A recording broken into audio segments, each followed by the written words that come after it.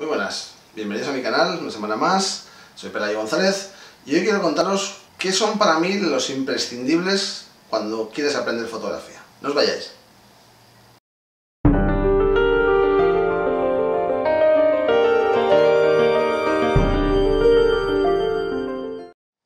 Feliz año nuevo a todos y a todas, bienvenidos a, mi canal una semana más.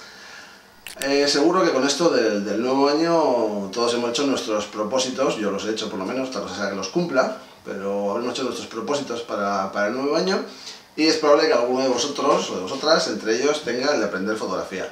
Eh, bien, yo os quiero contar hoy un poquito qué es lo que creo que es imprescindible para aprender fotografía, para empezar a hacer fotos y para ir descubriendo un poco eh, este mundo que para mí es apasionante y para muchos otros también. Bien, os voy a decir algo que igual os suena a verdad de perogrullo.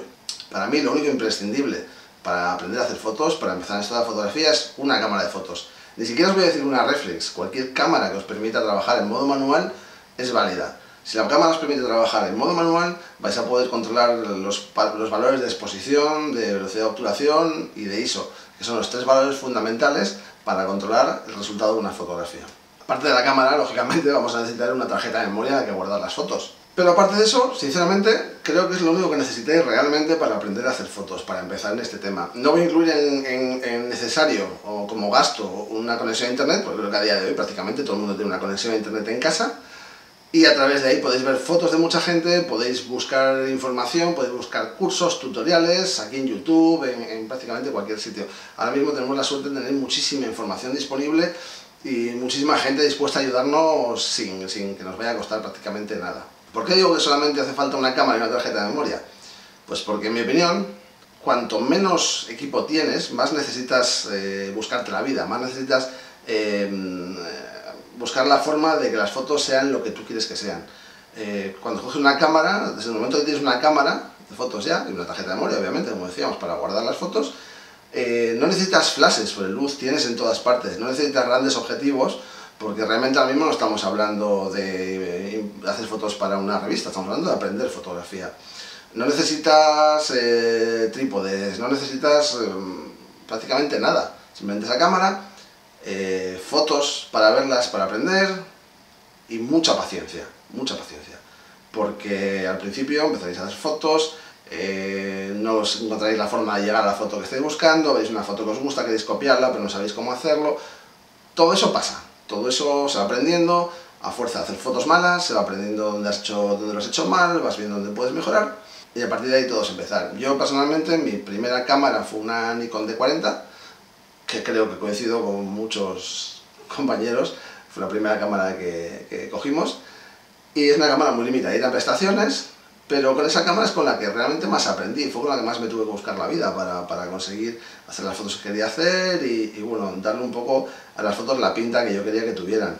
Unos meses después de, tener la cámara, eh, como me gustaba mucho hacer fotos de conciertos, la cámara a, partir de ISO 400 las fotos tenían más lunares que grano, me regalaron un objetivo, un 50 mm 1.8D, que es un objetivo baratito pero muy nítido y muy majo, lo tengo por ahí todavía y es un objetivo que me encanta.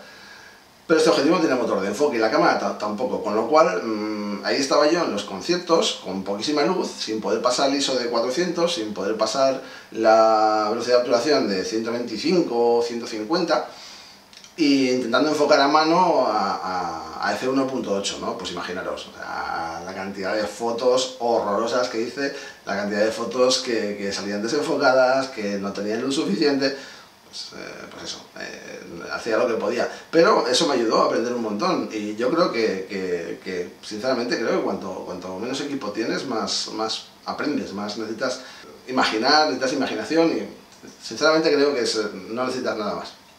No todo esto, no quiero que penséis que estoy en contra de comprarse cacharros, accesorios y demás. Yo mm, me encanta comprar cacharros y algunos con más uso que otros. Algunos los he comprado para nada, otros los he comprado los he utilizado mucho. Y, siempre que puedo, pues me gasto pasta en estas cosas, evidentemente como todo el mundo, a todos nos gusta. Pero lo que quiero haceros entender, lo que quiero explicaros con este vídeo, es que realmente no hace falta mucho más para aprender, para empezar. ¿Vale? Si luego queréis compraros un flash, pues por supuesto, compraros un flash.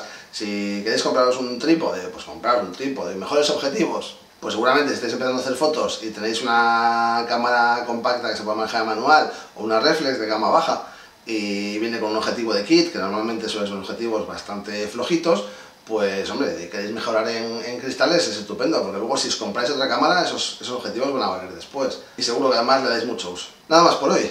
Ya sabéis que todos los comentarios son bienvenidos, me los podéis dejar aquí debajo. Eh, si os ha gustado el vídeo, un like. Si no os ha gustado, pues un dedito para abajo.